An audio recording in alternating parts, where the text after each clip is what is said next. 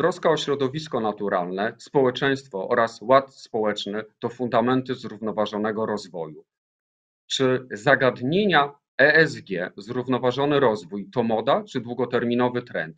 Czy obecnie, budując długoterminową wartość firmy, można sobie pozwolić na pominięcie kwestii klimatycznych?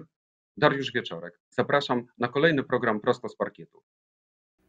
A moim i Państwa gościem jest dzisiaj pan Tomasz Gasiński, dyrektor w zespole do spraw zrównoważonego rozwoju w Deloitte Center Europe. Dzień dobry, panie Tomaszu. Dzień dobry.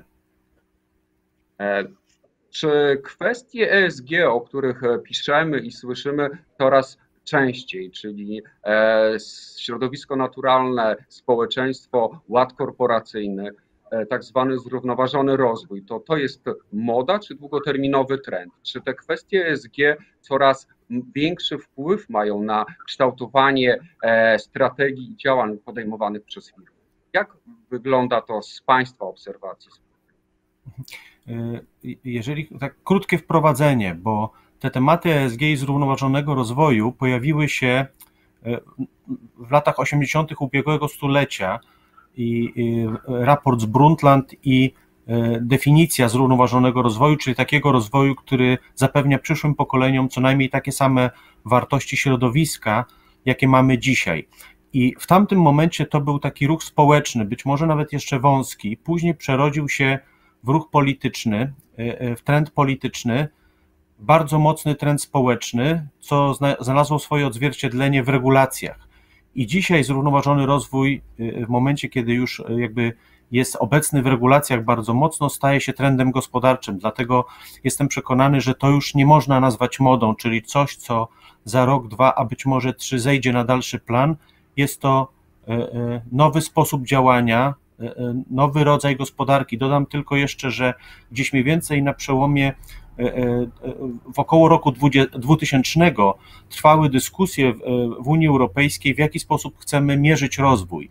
I e, wiele osób było za tym, aby przestać mierzyć tylko rozwój, nasz światowy czy dobrobyt PKB, wzrostem PKB. W związku z tym pojawiły się regulacje i wytyczne, które kształtują sposób mierzenia tego, jaki mamy świat nie tylko za pomocą wzrostu gospodarczego PKB, ale również w tych kwestiach zarówno taksonomicznych, wpływu na klimat, wpływu na bioróżnorodność i inne elementy środowiska. Dlatego jestem przekonany, że to już nie można nazwać modą, jest to nowy sposób działania, w który wszyscy powinniśmy się wpisać. A czy nastąpiła pewna poprawa w kwestii komunikowania tych spraw klimatycznych przez firmy? E, czy to są duże wyzwania dla spółek, żeby spełnić właśnie te e, nowe regulaminy, normy? E, następuje systematycznie, ale jednak dość powoli raportowanie czy ujawnianie swoich strategii klimatycznych. Zauważamy, takie trendy są wytyczne dostępne TCFD, które mówią, w jaki sposób firmy powinny raportować swoje e, oddziaływanie na klimat oraz także e, e, w, w, w, dyrektywach czy w wytycznych europejskich mamy wskazania o tak zwanym double materiality, czyli że firmy powinny mówić o tym, w jaki sposób zmiany klimatu oddziałują na, na, na firmy oraz w jaki sposób firmy poprzez swoje emisje w całym łańcuchu wartości, ale też te bezpośrednie, w jaki sposób firmy oddziałują na klimat. Natomiast jest to nowy temat. Dla naszych firm jest to nowy temat, ponieważ chciałbym zauważyć, że to nie chodzi tylko o takie ćwiczenie natury raportowej czy natury compliance. Skoro przepisy mówią, jaki jest wpływ na klimat, to musimy to powiedzieć i to jest koniec.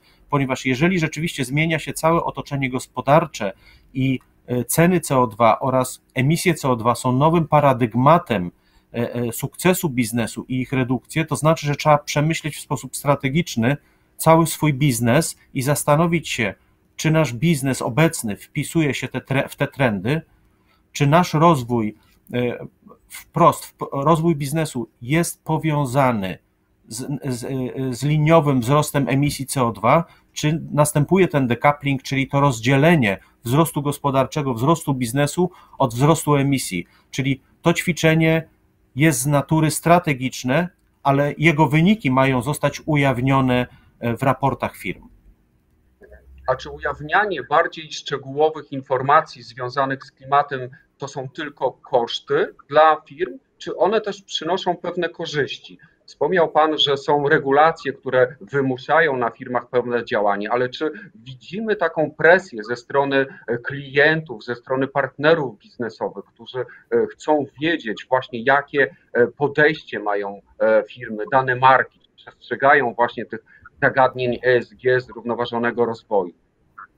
To, to, to, jakby to zagadnienie, o które Pan pyta, to jest ciekawe, bo zawsze jak pojawia się nowy wymóg, firmy traktują to jako E, dwojako, jako obowiązek natury zgodności czy compliance oraz jako zagrożenie, bo jest to nowa rzecz, i, czyli ryzyko. Natomiast na każde ryzyko, czyli zmiany, można patrzeć z dwóch stron, jako na zagrożenie lub na szansę. Jeżeli przyjmie się postawę bierną, obserwującą, to to zawsze jest jakiś rodzaj zagrożenia y, y, związany z tym, że musimy spełnić, wpisać się w jakieś wymagania.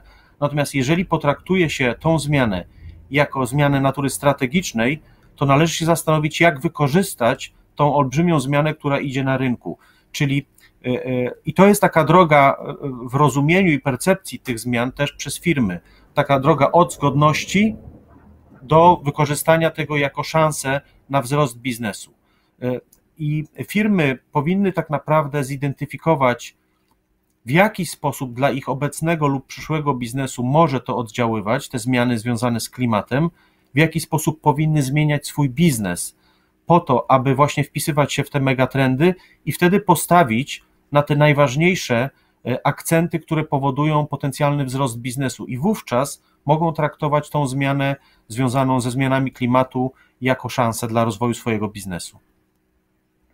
Mhm. E, a czy obserwujecie, Panie Tomaszu, też takie podejście e, spółek, ponieważ niektóre rodzaje ryzyka związanego z klimatem, no one są takie długoterminowe, postrzegane są w długim terminie, natomiast wiadomo, na co patrzą inwestorzy, akcjonariusze, na wyniki bieżące, na, na raporty finansowe, a więc nie ma takiego podejścia. Temperatur globalnych mają ten charakter długoterminowy e, i oprócz takich zjawisk w stylu fal, fale ciepła lub nagłe zjawiska pogotowe, które występują i będą się nasilały i mogą wystąpić nawet w przyszłym roku, to zasadniczo te chroniczne zmiany e, warunków e, klimatycznych, temperatury na świecie będą najprawdopodobniej według istniejących prognoz następowały raczej w okolicy połowy wieku 2050 i później, i, I ty rzeczywiście te ryzyka mają na dzisiaj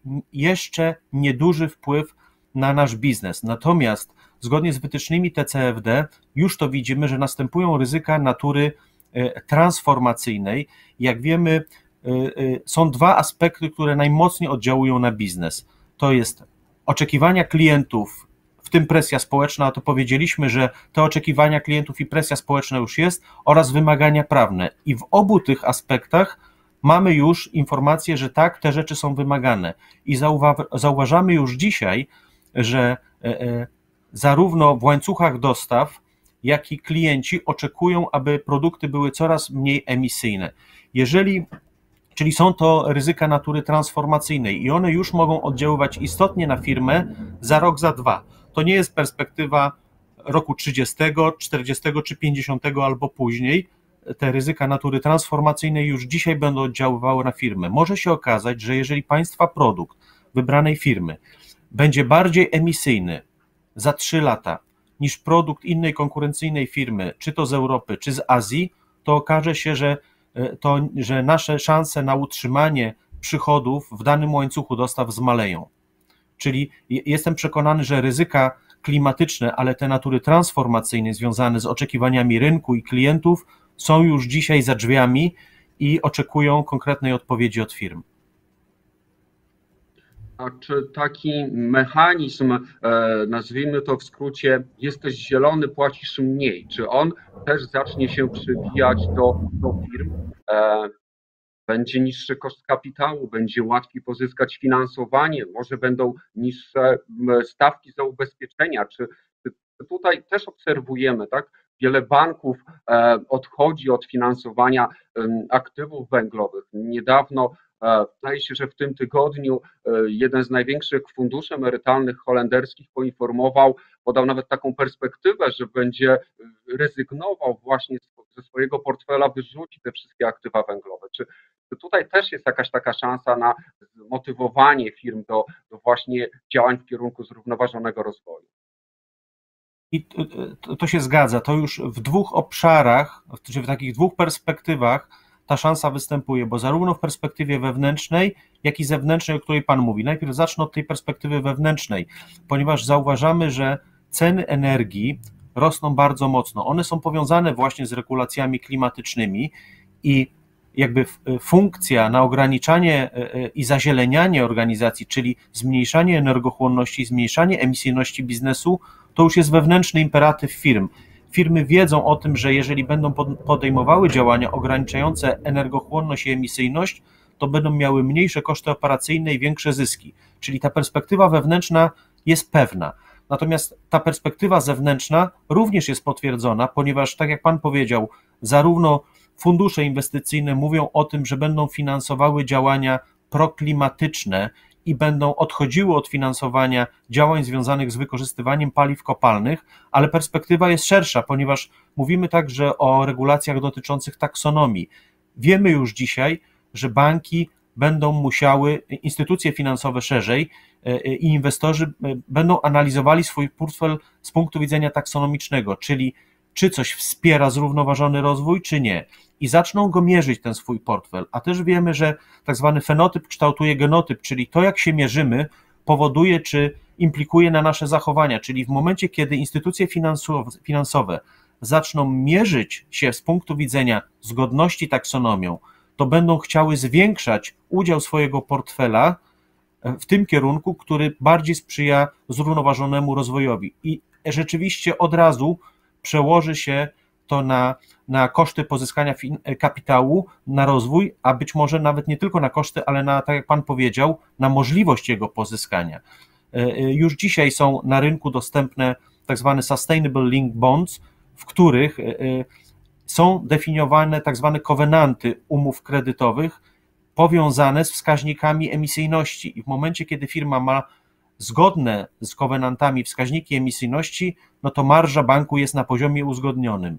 Jeżeli te wskaźniki są gorsze, przepraszam Państwa, jeżeli one są gorsze, to, to y, klient, y, który pozyskuje finansowanie, musi płacić więcej za ten kredyt. Natomiast jeżeli ma lepsze wyniki, to jest motyw, lepsze wyniki e, e, efektywności środowiskowej czy klimatycznej, to y, opłaty za finansowanie są niższe niż w bazowym scenariuszu. Czyli tak, potwierdzam, już dzisiaj są motywatory zarówno wewnętrzne na działanie proklimatyczne, jak i bardzo mocno zewnętrzne, związane z dostępem i kosztem finansowania rozwoju.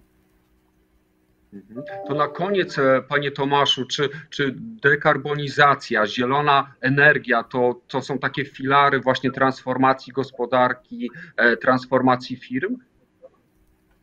E, wydaje się, że są że to, to jest dzisiaj filarem, jakby kierunkiem i y, możemy mówić o dekarbonizacji, możemy mówić o neutralizacji i wydaje się, że w niektórych branżach powinniśmy też mówić o dywersyfikacji działalności, bo firmy, które w jakimś stopniu dla swojej działalności korzystają z energii, to one mogą mówić o zazielenianiu tej energii, one mogą mówić o ograniczaniu e, e, energochłonności czy emisyjności. Natomiast firmy, które są wprost powiązane z branżami paliw kopalnych, one muszą mówić o zmianie swojego modelu biznesowego, o wyjściu stopniowym z tych branż i wejściu w nowe obszary działalności, czy to poprzez integrację pionową w łańcuchu wartości, czy poprzez rozwijanie zupełnie nowych e, e, inwestycji w te mniej emisyjne, po to, żeby e, dotrzymywać tempa rozwoju i zapewnić swoich inwestorów o stałym zwrocie zaangażowanego kapitału. Bardzo dziękuję za e, rozmowę. Moim i Państwa gościem był Pan Tomasz Gasiński, dyrektor w zespole do spraw zrównoważonego rozwoju w Deloitte Center Europe. Dziękuję bardzo, do widzenia. Dziękuję bardzo Państwu, do widzenia.